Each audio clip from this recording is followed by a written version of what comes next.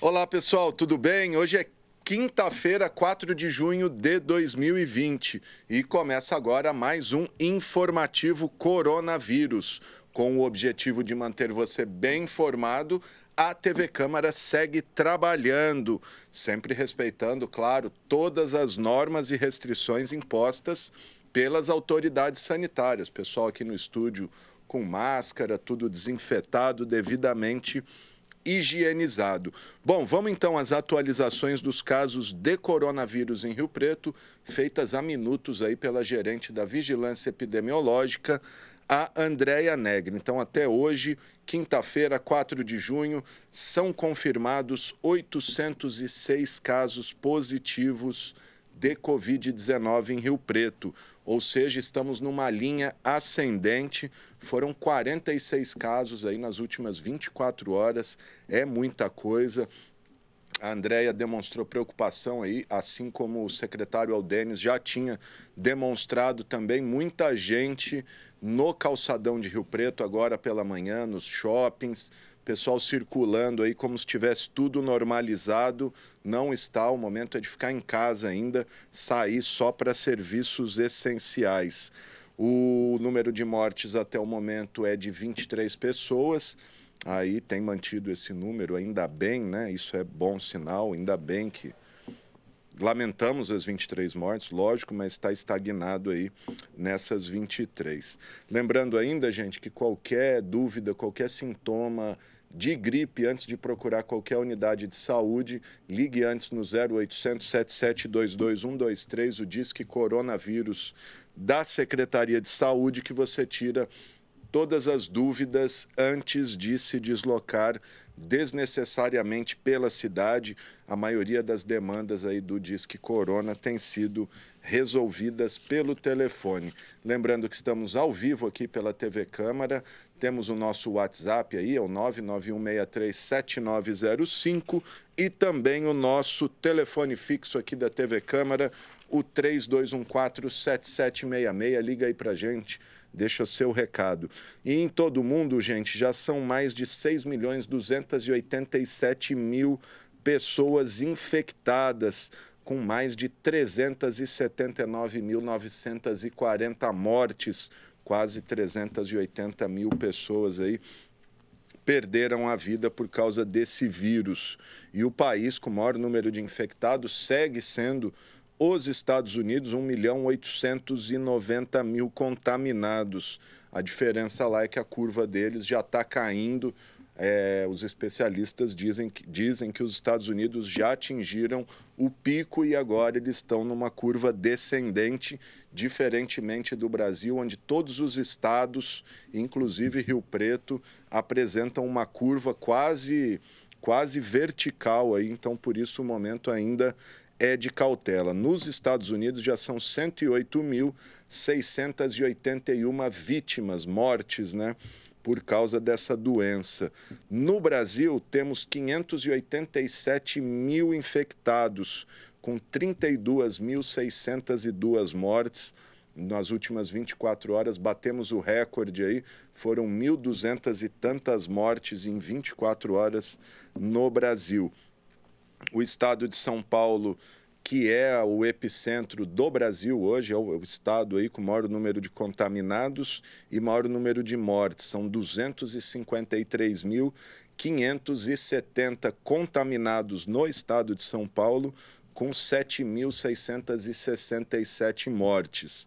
Até por isso, ontem, o governador João Dória, na primeira análise, depois da, da entrada em vigor do tal do Plano São Paulo, o governador João Dória deu uma coletiva nessa quarta-feira e regiões como a de Bauru e Barretos, que tinham sido enquadradas inicialmente na fase amarela, que é a fase 3, uma acima do que está Rio Preto, o governador já disse que possivelmente na, na próxima readequação, que deve ser segunda-feira, é, essas duas regiões vão recuar para a fase laranja, que é a que proíbe a abertura de salões de beleza, academias, bares e restaurantes, porque os números dessas duas regiões, Barretos e Bauru, deram uma crescida depois da flexibilização. Rio Preto segue na fase laranja, né? comércio aberto aí de maneira regrada, é... mas academias, bares, restaurantes e salões de beleza seguem, seguem fechados, proibidos de funcionar. E se a situação não melhorar, se os números não apresentarem uma melhora, corre o risco de Rio Preto também recuar uma fase, e aí é a fase vermelha, e a fase vermelha proíbe a, abertura de tudo, né? Só pode abrir o que é essencial mesmo, alimentação e farmácias. A, a CIRP entrou com uma liminar no, na primeira vara da Fazenda aqui de Rio Preto, está sobre análise aí do juiz da primeira vara, o Adilson Acac, eles pedem a abertura de salões de beleza aí. Lembrando que os salões não podem abrir, mas os profissionais de beleza podem atender é, na residência dos clientes. Então, pelo menos aí é uma, uma maneira deles manterem alguma renda. Bom, daqui a pouquinho a gente volta a falar disso, porque na terça-feira a gente teve a 16ª sessão ordinária de 2020 e nós temos as informações aí, o balanço da sessão com a jornalista Thaís Machado. Os vereadores de São José do Rio Preto aprovaram três projetos da ordem do dia da 16ª sessão ordinária de 2020, realizada na terça-feira, 2 de junho, no plenário da Câmara Municipal. Estavam na pauta oito itens, sendo dois vetos do Executivo, cinco projetos de lei e um projeto de resolução. Os dois vetos são referentes ao projeto do presidente da Câmara, Paulo Paulera, que dispõe sobre a matrícula de alunos em creches ou escolas municipais próximas ao trabalho dos pais, e de Zé da Academia, que autoriza o pagamento de auxílio atleta no período de quarentena imposto pela pandemia da Covid-19, ambos rejeitados. Já os projetos de lei são os seguintes: de Fábio Marcondes, em segunda discussão, que garante gratuidade do transporte público aos guardas municipais em exercício da função. Esse projeto foi prejudicado pela ausência do vereador. De Jean Dornelas, em segunda votação, foi aprovado o projeto que prevê a instalação de lombadas eletrônicas em substituição aos radares eletrônicos em vias de grande movimento. De Pedro Roberto, em segunda análise, declara de utilidade pública a Associação Rio Pretense Católica de Ensino. Esse projeto foi aprovado. De Renato Pupo, foi pedido vista do projeto que determina a inspeção periódica de edificações e cria o laudo de inspeção técnica de edificação. De Anderson Branco, também foi pedido vista ao projeto que prorroga o prazo de todos os concursos públicos em vigência no município enquanto durar a pandemia. Já o projeto de resolução é de autoria da mesa diretora e institui a Medalha do Mérito Esportivo. Esse projeto estava em segunda discussão e foi aprovado. As sessões começam sempre às 5 horas da tarde e tem transmissão ao vivo pela TV Câmara, canal 4 da NET e 28.2 em sinal aberto. Também pelas nossas redes sociais. Também pela Rádio Educativa 106,7 FM e pelas redes sociais da Câmara Municipal, como Facebook e YouTube. Tá, então, gente, o, o balanço da sessão. Lembrando que os dois vetos derrubados ainda não tem uma posição do prefeito Edinho Araújo, tanto a questão do auxílio atleta autorizar o pagamento no período de pandemia aí, que os professores estão de quarentena, que é do Zé da Academia, e também o projeto do vereador Paulo Paulera, que prevê a matrícula em creches para próximo ao trabalho de pais e mães, para facilitar, né? Porque hoje a regra prevê que a, a prioridade é, é na próximo à residência, mas as mães que trabalham tal preferem que a creche seja próxima ao trabalho. Ela já sai do trabalho, deixa a criança na creche, saiu do trabalho, pega a criança e volta para casa.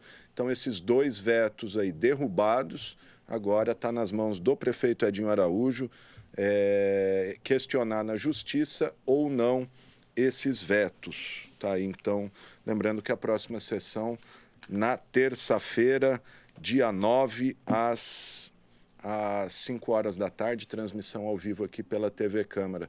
Para registrar também. Para registrar também que o prefeito Edinho Araújo publicou hoje no Diário Oficial o ponto facultativo na próxima sexta-feira, 12 de, junho, é, 11 de, 12 de junho, que no dia 11 é o Corpus Christi.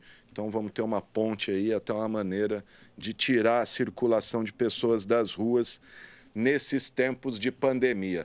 Bom, falando em tempos de pandemia, gente, muitas entidades e serviços públicos foram obrigados a deixar de funcionar e, consequentemente, atender o público.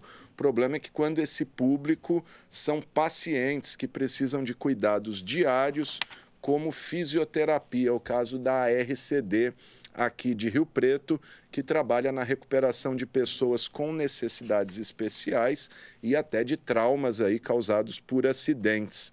Sobre isso, a gente vai conversar com a presidente da ARCD, a RCD, a Adriana Cirelli, que está aqui no Skype comigo. A Adriana está aí? Não, ainda não? Então, daqui a pouquinho, a Adriana Cirelli, da ARCD. Bom, vamos, vamos, vamos avançando aqui. Daqui a pouquinho, então, a Adriana Cirelli vai falar sobre a situação da RCD, que não está legal, lá de cerca de duas, três mil é, atendimentos que eles faziam por mês. Esse número caiu mais do que pela metade.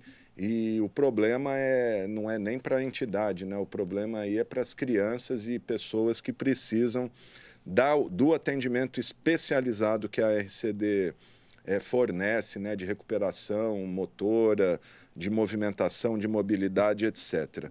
Bom, vamos avançando aqui. Se o momento é de dificuldade, para quem sempre viveu com o Pires na mão, a situação é ainda pior, que é o caso de algumas entidades de Rio Preto. Vou citar algumas aqui: Asilo de Engenheiro Schmidt, Anjos da Guarda e Espírito Consolador, que estão precisando de recursos, doações, insumos, enfim, último caso, estão precisando de grana. E eles lançaram aí umas campanhas para arrecadar esses recursos e também o banco de leite, que está precisando dos vidros os vidros que são usados na, na, doação de leite. Bom, a gente tem todas essas informações aí com a jornalista Mariana Dyer. Entidades de São José do Rio Preto continuam pedindo contribuições para famílias carentes da cidade durante a pandemia. A Associação Anjo da Guarda é uma delas. A entidade fica no Jardim Nazaré e realiza trabalho educativo e recreativo com crianças e jovens da cidade, além de assistência às famílias. Quem quiser colaborar pode entrar em contato pelo telefone 3363 4589. A Associação Espírito Consolador precisa de roupas de frio, cobertores, alimentos e itens para enxoval de gestantes. A associação atende a centenas de famílias carentes de São José do Rio Preto. O contato é pelo WhatsApp 99192 2500. O Banco de Leite de Rio Preto continua com a campanha para arrecadar potes de vidro.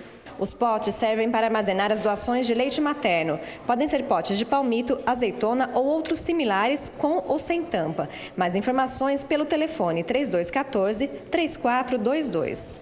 E o Asilo de Schmidt pede doações em dinheiro para manter o atendimento aos idosos. A contribuição pode ser feita por meio de depósito bancário. Quem quiser mais informações pode entrar em contato pelo telefone 99732 1955. Mariana Dyer para a TV Câmara. Tá, então, gente, as entidades que precisam de ajuda, quem puder ajudar, é sempre bem-vindo. Vamos lembrar aqui os telefones da TV Câmara, porque a TV também está aqui à disposição de entidades, grupos, associações, etc., que tiverem fazendo campanhas aí de arrecadação, tiver precisando de doações, pode entrar em contato aqui com a gente, a gente divulga aí a sua ação. O mesmo vale para pessoas que estiverem se mobilizando para ajudar algo ou alguém. Entre em contato aqui com a gente, ao 99163 7905 e o 32147766. Vou pedir aí, se puder, pôr o telefone do Hemocentro também, que o Hemocentro está precisando de doação de sangue. O Hemocentro que fica ali na rua Jamil Feres Kifuri, número 80, Jardim Panorama, atrás do Hospital de Base vai lá doar sangue, é das sete da manhã a uma da tarde, de segunda a segunda, inclusive de feriados, tá? Então, a, o registro da, da, das entidades que estão precisando. Bom, gente, com base nas orientações do Comitê Gestor de Combate ao Coronavírus, a Prefeitura de Rio Preto regrou diferentes horários para o funcionamento das atividades econômicas de Rio Preto não essenciais, né? A gente tem uma reportagem aí, vamos conferir na volta tem mais informações aqui. A Prefeitura de Rio Preto, por meio do Comitê de Enfrentamento ao Coronavírus, alterou o funcionamento de setores da economia. As alterações foram baseadas em deliberação do comitê e atendem aos critérios do Plano São Paulo para a fase 2 laranja. Entre as principais mudanças estão a divisão do funcionamento dos setores econômicos não essenciais em diferentes faixas de funcionamento, das 9 horas da manhã a 1 hora da tarde, das 10 horas da manhã às 2 horas da tarde, das 11 da manhã às 3 horas e das 3 às 7 horas da noite. O comércio em geral não essencial funcionará das 9 da manhã a 1 hora da tarde, de segunda a sexta-feira não sendo permitida a abertura aos sábados e domingos. Os shopping centers deverão trabalhar conforme o alvará de funcionamento das 3 horas da tarde às 7 da noite, de segunda a sexta-feira, e aos sábados, domingos e feriados, das 10 da manhã às 2 da tarde. O Praça Shopping e outras galerias devem abrir das 11 da manhã às 3 da tarde, de acordo com o alvará de funcionamento. Já o Shopping HB vai funcionar das 9 horas da manhã à 1 da tarde, de segunda a sexta-feira. A deliberação também limita aos centros comerciais o acesso ao público com a utilização de 20% da capacidade de clientes e usuários, vedada a utilização das praças de alimentação. Atividades internas dos serviços de alimentação possuem permissão de atendimento de clientes dentro dos veículos e entrega no endereço do cliente, independentemente do horário de atendimento presencial ao público. Os serviços considerados essenciais não sofreram alterações e terão os horários determinados por seus próprios alvarás. As únicas exceções cabem aos hipermercados, supermercados, mercados, mercearias e atacadistas, que deverão funcionar com 30% da capacidade máxima. Na regra anterior, a permissão era de 50% da capacidade. Os salões de beleza e as academias continuam proibidos nessa fase. Porém, o atendimento em domicílio foi liberado desde que sejam respeitadas as regras determinadas pela deliberação. Os centros de formação de condutores foram incluídos nessa deliberação e poderão funcionar em horário reduzido com até 20% da capacidade máxima. Thaís Machado para a TV Câmara, o canal do Legislativo. Tá, então, gente, o comércio em geral das 9 às, às 13 horas e os shoppings aí nesse horário diferenciado. Outra informação, o Shopping Azul, que ontem eu tinha dito que também era das 9 a 1, na verdade é das 11 da manhã às 3 da tarde, o Shopping Azul ali em cima da rodoviária, o nosso nossa 25 de março. Bom, gente, em tempos de confinamento, tudo agora é pela internet, né? Live, conferência, webinar, etc. Dominam todos os temas, todas as pautas. E agora é a vez do promotor de justiça, o doutor Eli Buchala, ele que vai proferir uma palestra para estudantes sobre cyberbullying, que é o bullying da internet. E a gente vai bater um papo aí com o doutor Eli sobre isso. Doutor, me ouve bem? O doutor está aqui no Skype comigo. Estou ouvindo sim. É um prazer participar com você desse programa. Maravilha, o prazer é nosso, doutor. Deixa eu começar perguntando, doutor, é, o que, que caracteriza o cyberbullying, né? O bullying na, na vida real a gente sabe, é chamar de gordo, de, de enfim, de, de, zoar a aparência física e etc. E no, no, na internet, o que, que caracteriza o cyberbullying? É muito interessante essa questão, são novidades mesmo esse tipo de, de matéria que nós estamos fazendo, essa interação nossa, como a gente mesmo conversou ontem, eu nunca tinha feito uma manifestação por Skype. E eu recentemente me aposentei na promotoria, estou em processo de, de quarentena ainda para decidir o que vou fazer daqui para frente, mas tenho feito palestras, fui convidado para fazer uma palestra hoje para os alunos do Monsenhor Gonçalves, escola pública Monsenhor Gonçalves, onde eu estudei, e esse tema tem sido muito solicitado porque hoje tudo está sendo feito pela internet, inclusive as pessoas às vezes têm uma vida muito mais ativa na internet por conta até dessa questão do confinamento. Então, na verdade, você falou que chamar, xingar, é, brigar, discutir, isso é, configuraria o bullying antigamente, mas hoje é praticamente a mesma coisa, só que é feito é, através de canais digitais as pessoas são ofendidas, são vítimas de discursos de ódio, são vítimas de agressões verbais, às vezes ameaças. Então, existe uma série de implicações que levam, às vezes, as pessoas vítimas disso a se sentirem humilhadas, ofendidas, ameaçadas. Então, esse tipo de, de, de situação hoje está muito mais intenso, até em razão desse confinamento. Agora tem até um novo nome, né, doutor? Não sei, não sei se o senhor está muito por dentro aí da, das questões de internet, mas é o tal do cancelamento, né? Vamos cancelar é. a pessoa, para de seguir, para de interagir, deixa ela sozinha na. Seria uma maneira de um. Seria um cyberbullying isso, cancelamento? Também existe essa, essa, essas atividades, tudo que é feito de maneira ofensiva, de maneira pejorativa, quando coloca alguém alvo de algum tipo de ridicularização alguém fica é, sempre em uma posição de inferioridade, pode ser entendido como bullying. E existem as situações mais comuns, que são as calúnias, injúrias, difamações, ameaças, situações envolvendo amigos. Eu, eu inclusive, quero conversar com o pessoal do ensino médio porque hoje às vezes as pessoas compartilham fotos íntimas, colocam, confiam nas pessoas, tem alguns relacionamentos, depois tem aquela aquela vingança de final de relacionamento, onde alguém divulga uma foto íntima, um vídeo. Isso era muito comum aparecer ali na promotoria e, e causa extremo sofrimento nas pessoas envolvidas. Então, eu, eu vou procurar dar uma orientação para que os jovens se protejam disso, para que as pessoas não imaginem também que seus filhos estão seguros nos quartos. Eu costumo dizer isso nas palestras que vou, porque mesmo quando eu era promotor, eu sempre fui fazer palestra em escolas, conversar com as pessoas que procuravam orientação para evitar os problemas, né? Depois que os problemas surgem, às vezes ficam insolúveis. É, já vi relatos, já vi matérias, já acompanhei situações em que as pessoas chegam a tentar o suicídio em razão desse tipo de cancelamento, em razão de ridicularizações, é, são instigadas a, a tomar atitudes autodestrutivas, autodepreciativas. Então, eu vou conversar hoje com os jovens ali nessa live para os estudantes do Monsenhor Gonçalves, exatamente para tentar evitar que eles se envolvam nessas situações e também dar caminhos para que as pessoas percebam que às vezes inocentemente podem ser levadas a situação, a situações que possam colocar depois a, a, a sua tranquilidade em risco a gente fica imaginando, mas as pessoas levam isso muito a sério, é tão, é tão importante assim, uma coisa virtual, uma coisa distante?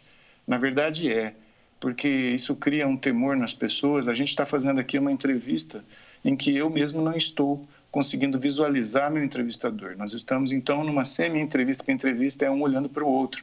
E nós estamos usando aqui um material diferente, uma plataforma diferente, e ela tem um efeito prático muito importante e semelhante ao que se fosse um efeito natural. Então, a pessoa que começa a receber ameaças, ridicularizações, a pessoa às vezes é, grupo de, é vítima de grupos, formam-se grupos é, específicos para fazer é, ridicularizações, para que essa pessoa se sinta inferiorizada. Isso é horrível para a pessoa que é vítima disso.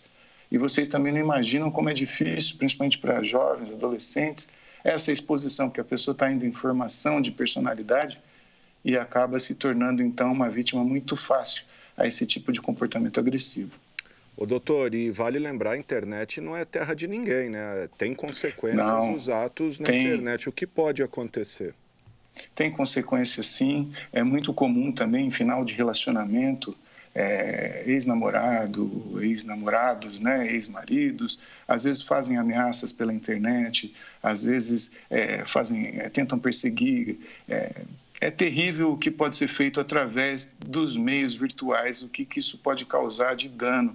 Só que existe a possibilidade da busca de procedimentos criminais e até a questão de danos morais também na esfera civil.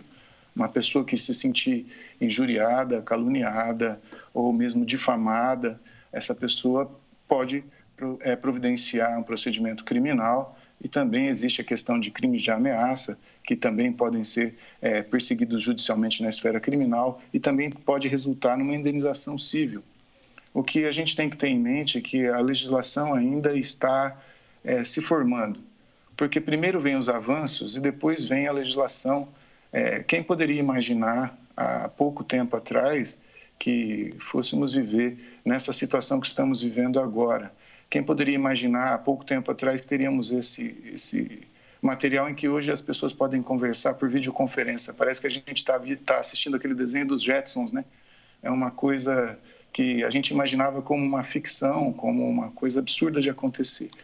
E a legislação ela precisa acompanhar as mudanças, porque primeiro vem a situação social para depois haver a regulamentação das dúvidas, do que, da, das situações que podem decorrer das novidades.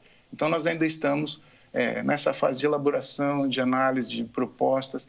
Existem as possibilidades de aplicação de mecanismos jurídicos já consolidados, mas muito ainda precisamos evoluir, inclusive nessas questões de fake news, de, de polarizações, de linguagens, de linguagens ofensivas, a maneira de comportamento. Tudo isso ainda vai ser objeto de muita discussão, ainda legislativa. A sociedade precisa discutir essas coisas e tornar isso e colocar isso no, no grau de importância que hoje ele representa.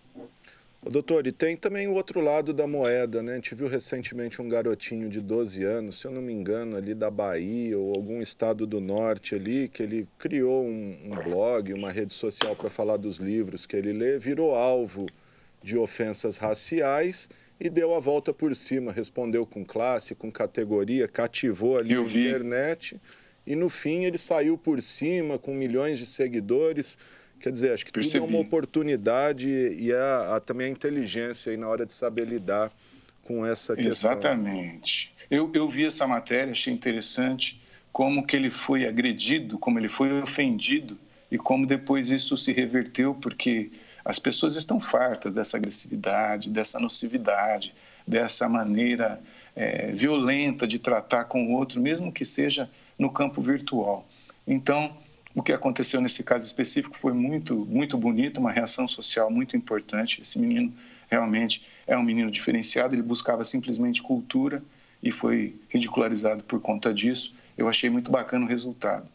Eu acho importante a discussão sobre esse tipo de tema e por isso que eu aceitei conversar sobre isso aqui também, porque as pessoas estão se sentindo muito confortáveis, às vezes, em suas casas, é, para fazer agressividade, para se tornar agressivo. É a mesma coisa que às vezes a gente vê no trânsito. A pessoa às vezes entra no automóvel, ela fica extremamente agressiva na maneira de conduzir e inclusive colocando em risco outras pessoas que possam estar pela via pública. Da mesma maneira a internet. A pessoa está ali dentro do seu quarto, na sua sala, então ele fica feroz, ele fica agressivo, ele se sente protegido, até por um certo anonimato, ele se sente protegido e livre para exagerar em palavras, em atitudes, em comportamentos que vão gerar extremo mal, extremo dano em outras pessoas. Então é muito importante que isso seja é, percebido, conversado e que a pessoa também tenha em mente que agora existe é, legislação, delegacias especializadas, é possível rastrear a origem de, é, de algum tipo de comportamento agressivo, violento, que incite algum tipo de problema. Essa pessoa vai ser rastreada se houver necessidade vai, vai ser possível a identificação. É, a gente vê questões também horríveis, como questões de compartilhamento de material erótico envolvendo crianças e adolescentes, questões de pedofilia. Tudo isso pode ser rastreado e é rastreado. Existem peritos especializados, existem delegacias especializadas em fazer isso. E as pessoas então precisam ter a noção de que elas não podem se sentir seguras e imaginar que é liberdade de expressão. Que a liberdade de expressão é uma coisa relativa. Você não pode imaginar uma, uma sua liberdade de expressão como uma coisa plena para que você possa ridicularizar, é, praticar um discurso de ódio, alguma coisa, é, xenofobia, racismo. Então, tudo tem limite. A liberdade de expressão tem limites e o limite precisa ser definido, precisa ser tratado. Então, é importante que as pessoas não se sintam tão seguras nesse suposto anonimato, nessa suposta, nesse suposto conforto de, de, de seus locais onde elas ali destilam seu ódio, destilam sua maldade. Isso vai ter consequências jurídicas, sim, e é importante que essas consequências sejam severas. Sem dúvida. Até aproveitando um gancho do que o senhor disse aí da liberdade de expressão, que não é um direito absoluto, a gente tem visto essa questão envolvendo os ministros do Supremo, com aquele inquérito das fake news que está pegando alguns seguidores aí que avançaram o sinal e ao serem, ao receberem a visita da Polícia Federal, foram reclamar nas redes sociais que só estavam exercendo o direito à liberdade de expressão. Mas é o que o senhor disse, tem uma fronteira clara ali entre a liberdade de expressão ao cometimento de crimes, né, doutor? Exatamente. Tudo tem limite. É, a gente não pode imaginar o direito individual absoluto em face do direito coletivo.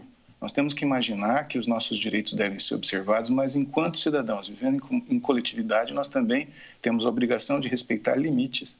Porque se todos puderem fazer e agir, pensar e, e se manifestar de maneira agressiva, é, a agressividade fica descontrolada e não se pode simplesmente dar o manto de acobertamento de uma liberdade de expressão para alguém que está sendo racista, para alguém que está sendo agressivo, para alguém que está fazendo o mau uso desse, desse suposto direito de expressão. Então, tudo tem limite, tudo precisa ser trabalhado e estudado dentro dos limites e dos anseios coletivos, que a coletividade é sempre superior ao interesse individual.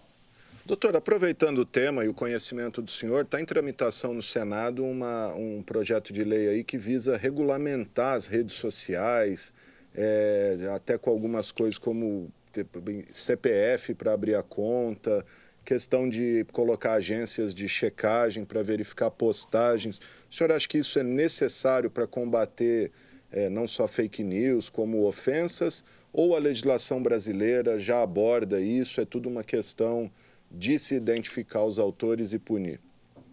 Olha, a situação é extremamente nova. Essa situação mesmo de fake news é uma coisa nova que está surgindo. Existe a necessidade, sim, de muito debate legislativo de muitas propostas, de muitos estudos. Não é uma coisa que possa é, surgir pronta, até porque os canais estão sempre evoluindo, a internet, a, a, as mídias, as maneiras de, de comunicação estão sempre evoluindo de uma maneira vertiginosa. Quem podia imaginar há pouco tempo atrás que em sua mão você tem um computador completo com acesso à internet e você, você tem um acesso imediato a noticiários, a notícias boas, notícias ruins, fake news.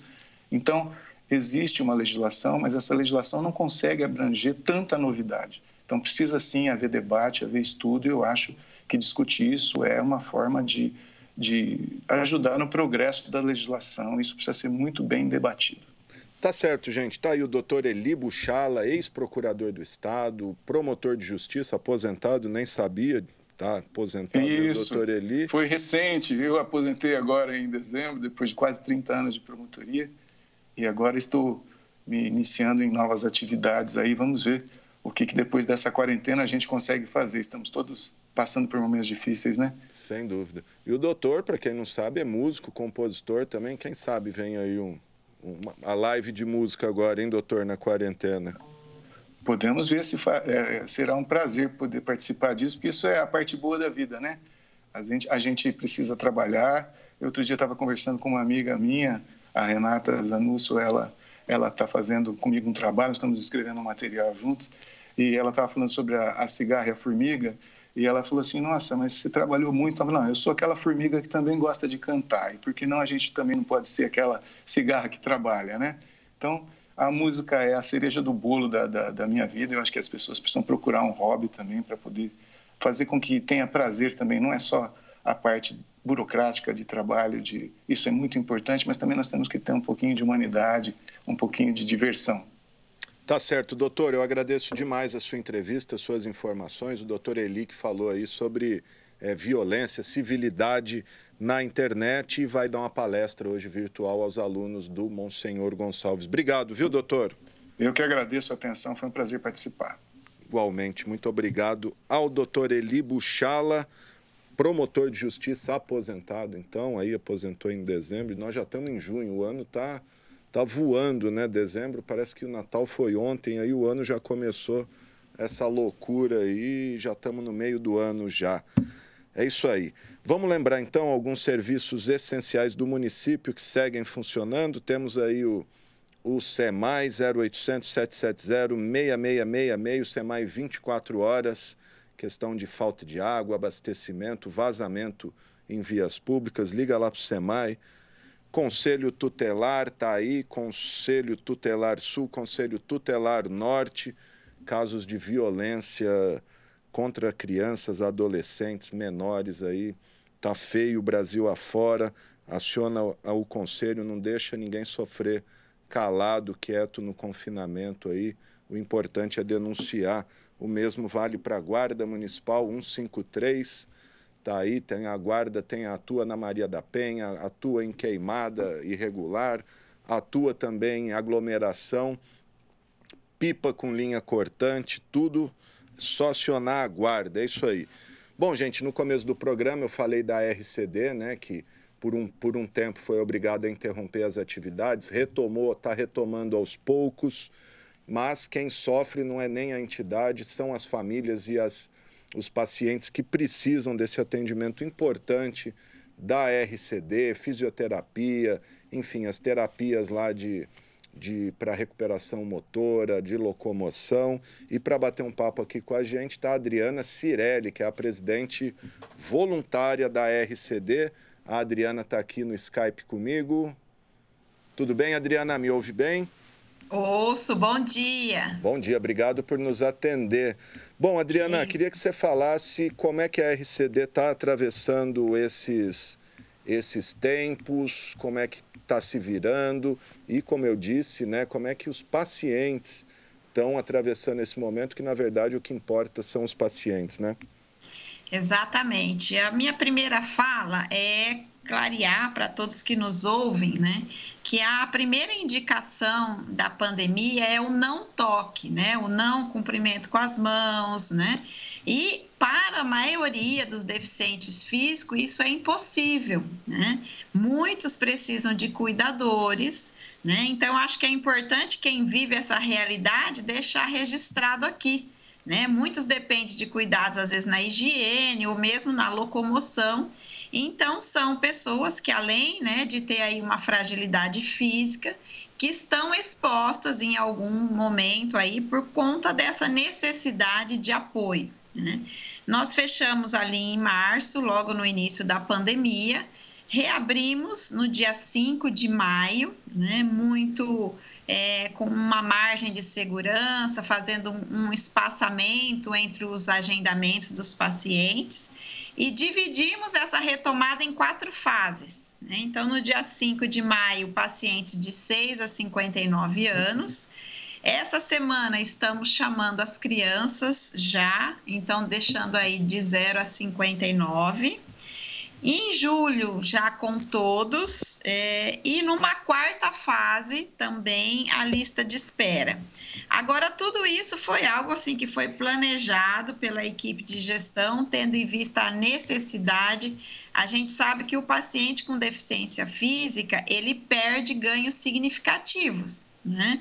Então, às vezes, alguns que já tinham alguns ganhos, é, já tinham superado alguns limites, se ficarem em casa sem o estímulo, é, precisam retomar tudo isso.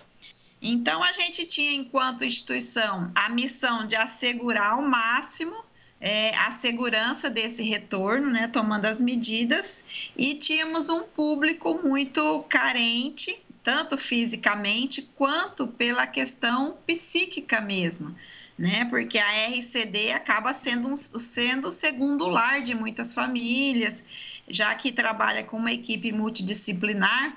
Nós temos aí a questão da psicologia, da assistência social, todo esse amparo que nesse momento de instabilidade, né, tanto do perigo do vírus, da questão física, quanto da questão emocional, que hoje é social, né, é, com essa possibilidade de desenvolvimento de pânico, com outros transtornos, a presença da equipe se faz mais necessário ainda. Então, agora, para dividir com vocês, né, no mês de maio, a gente teria aí uma expectativa de 2.500 atendimentos mês. Nós conseguimos, na prática, apenas 472 atendimentos. Muitas famílias têm muito medo, medo de sair de casa, medo do transporte, medo de vir numa ambulância que tenha transportado algum paciente, né? E a gente respeita isso, por isso nós adotamos também os atendimentos online, né? A equipe se reformulou, se, se reconstruiu né? Algo que para a gente até uns meses antes era inimaginável, né? Assim como outras profissões, pensar numa fisioterapia. E, e agora o setor da psicologia está atuando bastante no sentido de assegurar essas famílias que estão online começarem a fazer a passagem para o atendimento presencial. É um momento difícil, um momento de necessidade, mas um momento que também o medo, né, se faz muito presente. Então, estamos nesse momento tentando, né, agora para o mês de junho, que tenhamos mais atendimentos presenciais, porque na realidade online é uma assessoria, uma orientação, né? Nós tivemos momentos assim é, humanitários que os pacientes se alegraram de mostrar suas casas, de mostrar o quarto, de mostrar onde estavam fazendo ali os seus exercícios, a sua estimulação. Mas nós precisamos agora começar no presencial e aí é poder estabelecer com eles esse vínculo, essa segurança na instituição, né? Tomando todos os cuidados aí necessários para esse retorno. Pois é, como diz até aquele, aquele bordão, nada substitui o toque, né, Adriana? Deixa eu te perguntar, a gente tem falado de várias entidades aqui que estão com dificuldades, etc. Qual que é a situação da RCD hoje? Está redondo? Está precisando de alguma coisa? Se tiver precisando, fica à vontade para pedir aqui. E quero também lembrar, quando eu, eu lembro quando eu ainda estava na Rádio CBN, a gente falava muito das prefeituras da região que utilizavam a RCD, mas não faziam a devida compensação financeira, se essa situação foi equacionada, se está tudo certo. Sim, em relação às prefeituras vizinhas, nós tivemos aí árduos anos né, de trabalho. Hoje nós estamos numa situação muito mais confortável. É, na verdade, eliminamos pacientes de alguns municípios que se recusaram a estabelecer a parceria né? Mas os que temos hoje, né, estão aí contribuindo, são, são fiéis a isso, conseguimos estabelecer, estamos aí em, em torno de 18 prefeituras, né, é, que nos rodeiam e que mantêm esse tipo de contrato conosco, sempre mantendo a priorização aí do, do município de Rio Preto, né? É, inclusive com um enfoque mais atualizado na fisiaquática e abraçando uma demanda da Secretaria Municipal de Saúde que nós pudemos conseguir atender. É, então, financeiramente, é uma instituição né, que as crises anteriores acabaram nos deixando preparados para um momento como esse. Né? A gente teve muita dificuldade agora em termos de equipamento, né? falta de celulares, de tablets, tivemos que reformular a questão toda da informática, de Wi-Fi, de, de provedor e tudo para dar conta desse atendimento. A gente não tinha é, equipamento para isso.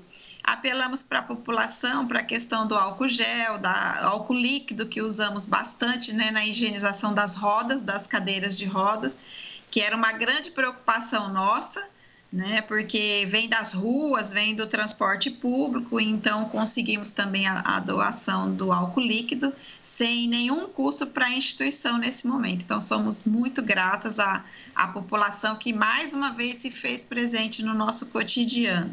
Né? Nesse período, em termos de orçamento, tivemos o nosso bazar fechado, né? Todos sabem que a gente tem lá o nosso brechó, que chamamos de Bazar do Bem, e essa renda mensal é uma renda significativa que a gente conseguiu equilibrar aí, renegociando algumas das nossas despesas aí para os próximos meses, mas estamos numa situação assim bem bem consciente, né, é, para essa realidade atual. Então, acho que é isso e a necessidade hoje continua sendo os equipamentos, né? doações de celulares, quem tiver celulares usados aí, que possam dispor para a gente, tablets, tudo isso que a gente possa abraçar esse mundo online que nos pegou realmente assim totalmente despreparados para isso, né? Quanto ao orçamento, a gente vem mantendo, né, Alexandre? A gente tem algumas regras básicas, nossa, é, de às vezes itens é, como folha de A4, que alguns anos nós temos já por norma, por lei, não adquirir, então apelamos aí para as redes sociais, para a população e priorizamos o nosso orçamento totalmente para a questão é, realmente da, dos profissionais, né, que possam atender os nossos pacientes, sempre tendo aí os pacientes como a nossa meta, né, dentro do propósito de transformar essa deficiência física em sorrisos, né? Essa é a missão da RCD.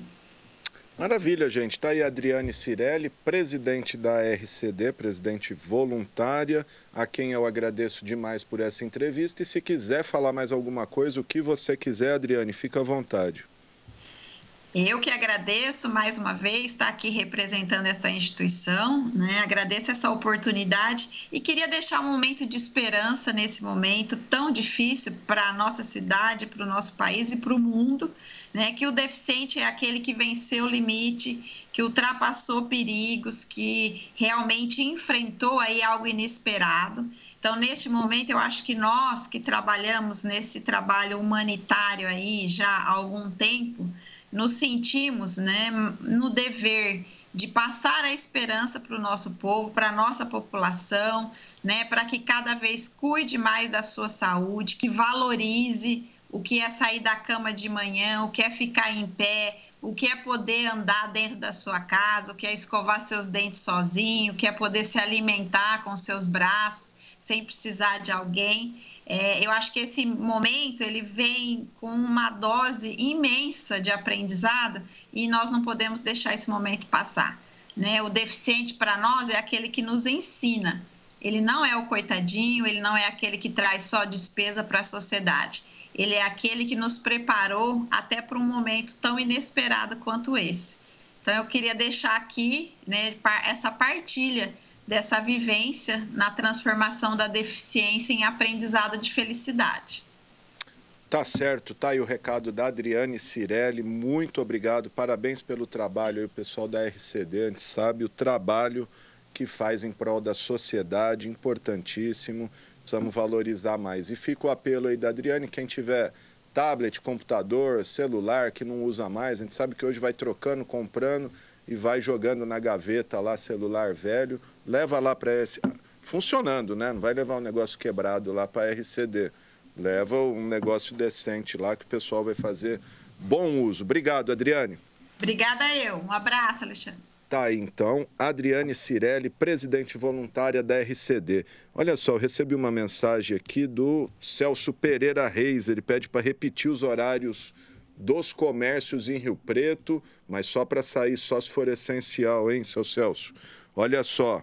Prefeitura, entre as principais mudanças estão a divisão dos funcionamentos de setores econômicos não essenciais. Então, uma faixa da 9 da 1, que é o comércio em geral aí, calçadão, lojas de rua, etc., das 9 da manhã à 1 da tarde.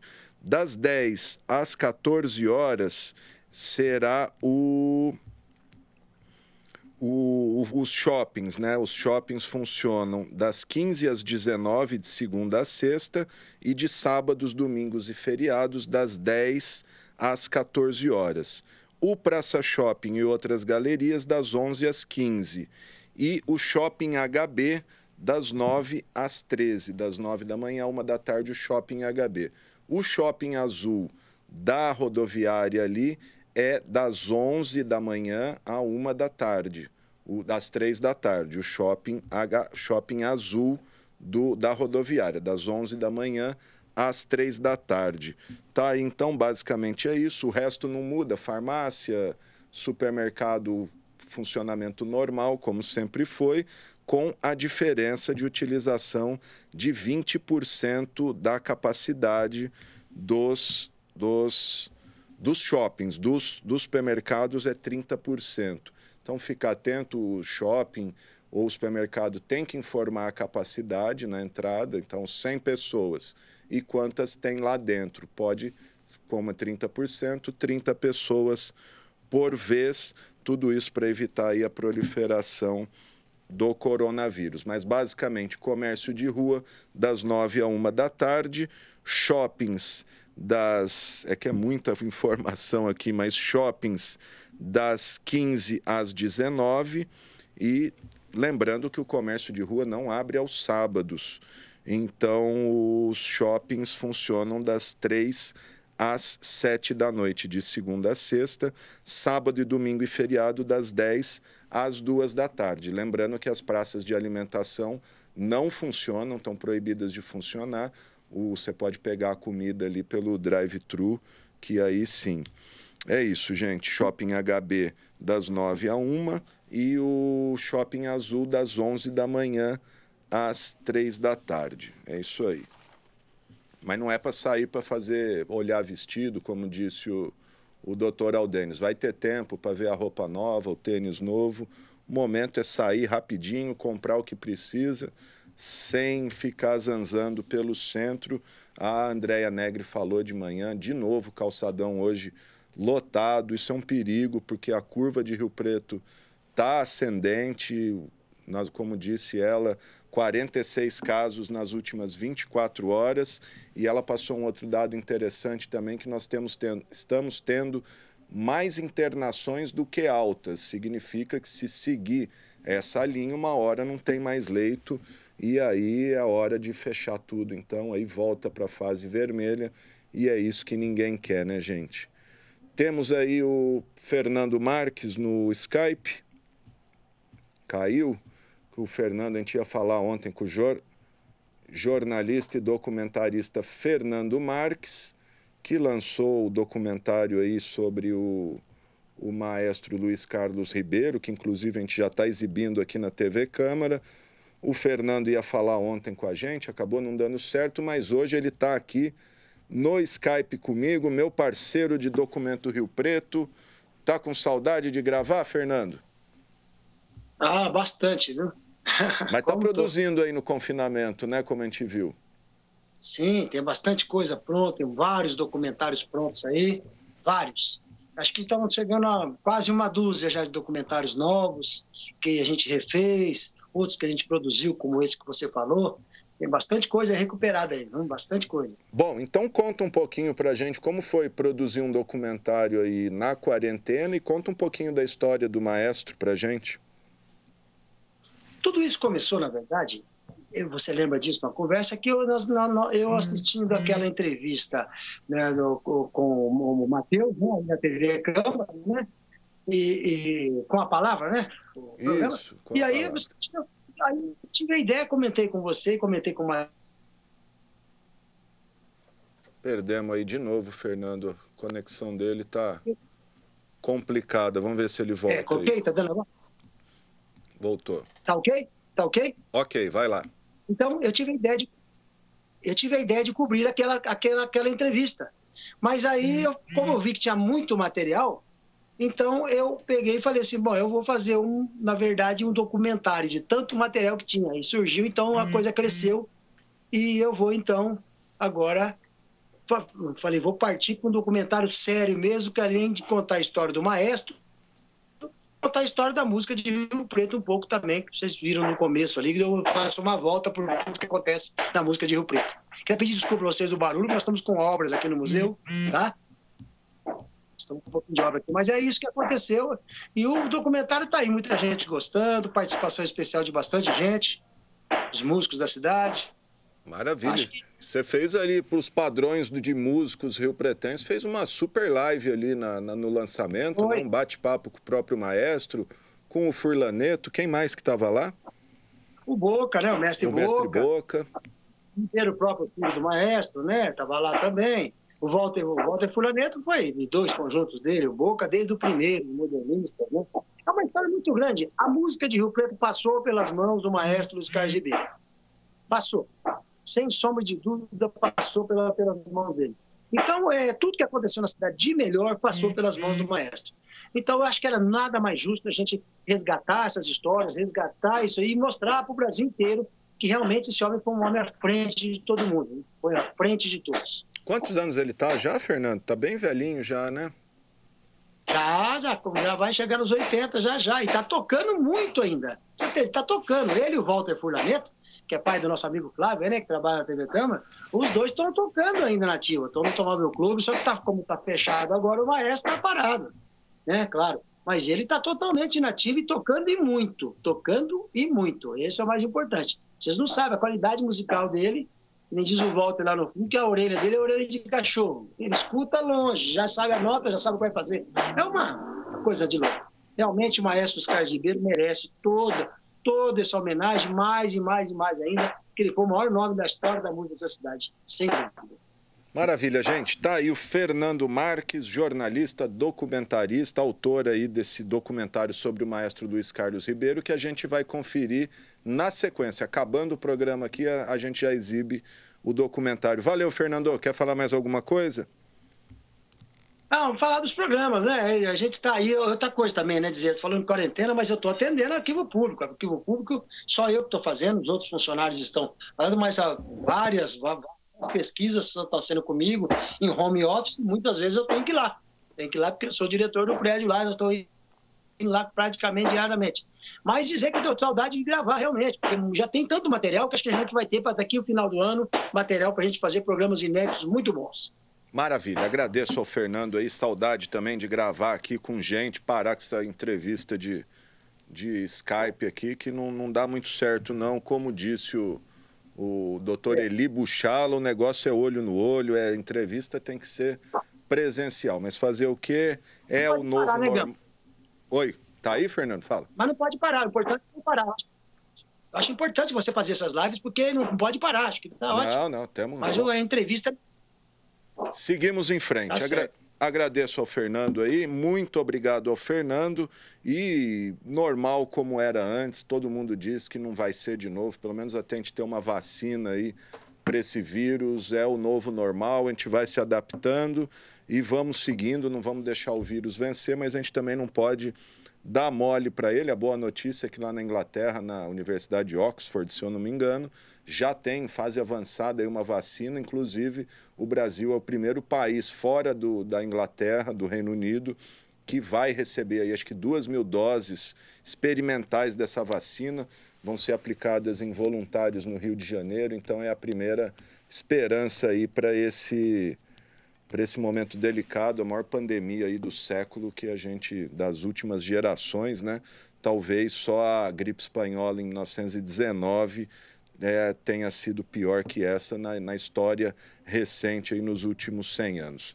É isso, gente. A gente encerra por aqui o informativo Coronavírus desta quinta-feira. Contou com os trabalhos técnicos do cinegrafista Eudi Russo, controle mestre André Santos, GC Produção, Renata Arantes e Mariana Daier e operador de áudio Israel Heleno de Castro. Lembrando, de novo, que o momento é de seguir as orientações das autoridades sanitárias e permanecer em casa, saindo só para serviços essenciais. Deixa a roupa, o sapato e o perfume para depois, vai ter muito tempo. E a gente volta amanhã com mais informações. A gente encerra o programa de hoje com Caetano Veloso. Alguma coisa está fora da ordem. Vamos lá.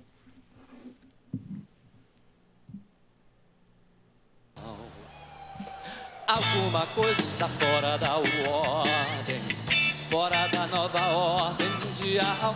Alguma coisa está fora da ordem, fora da nova ordem mundial. Alguma coisa está fora da ordem, fora da nova ordem mundial. Alguma coisa está fora da ordem, fora da nova ordem duras, coxas duras, duas, duas de acrobata mulata. Tua batata da perna moderna, trupe intrépida em que flui.